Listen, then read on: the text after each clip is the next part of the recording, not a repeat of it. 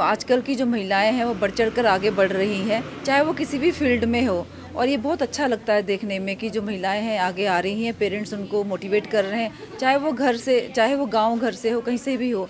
और उनका जो हॉबी है, चाहे कोई भी हॉबी हो, उसको लेकर आगे आएँ। जैसे कि रिशिता है, छोटी सी बच्ची है, वो ग्रामर फ़ील्ड में आना चाहती है। और मनीषा और रचना ने आज यूनिसेक्स सैलून ओपन किया है। मीन्स की महिलाएँ आगे आ रही हैं, मुझे बहुत अच्छा लग रहा है, हमें उनको मोटिवेट करना चाहिए।